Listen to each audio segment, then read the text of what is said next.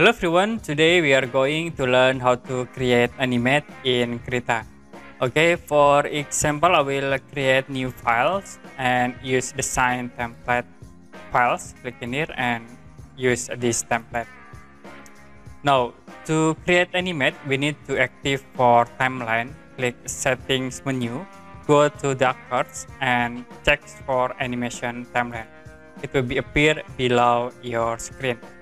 Now, to create new frames, you can click at these icons in uh, these points and click these icons to create new uh, blank frames. So it will be automatically changed for these blank frames. And I will draw simple object. The first I will draw rectangle in here.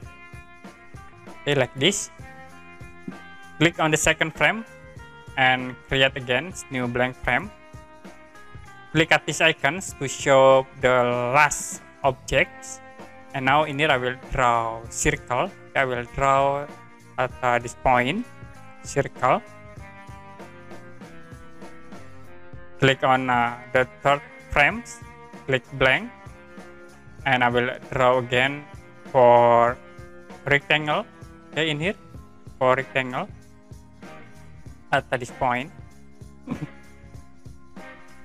The fourth frame. Click blank frame and I will create for circle again start from this point. Okay this circle.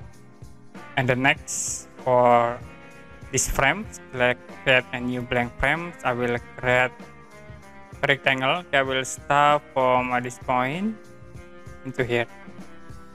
So we have uh, this five frame. One two three four five.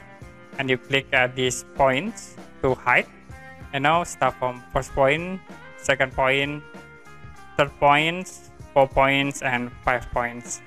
You also can change for speed. I will set 25 and you can right click in here and i will set for n times. So if you play it will be create animation like this. You also can edit this object can stop and like i will edit this object you can use this icon to resize. Like I will resize into here or you can click at this point. Now if we animate okay like this. Okay that's it how to basic animate in Krita. And if you have any question about this tutorial you can comment below this video